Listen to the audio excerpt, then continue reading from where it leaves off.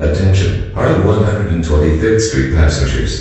Now arriving on track 3 is the Metro North 3.40 p.m. outbound train to New London, making stops at Stamford, Noroton Heights, Darien, South Norwalk, Westport, Fairfield, Fairfield Metro, Bridgeport, Stratford, Milford, West Haven, New Haven, New Haven State Street, Madison, Westbrook, Old Saybrook, and New London.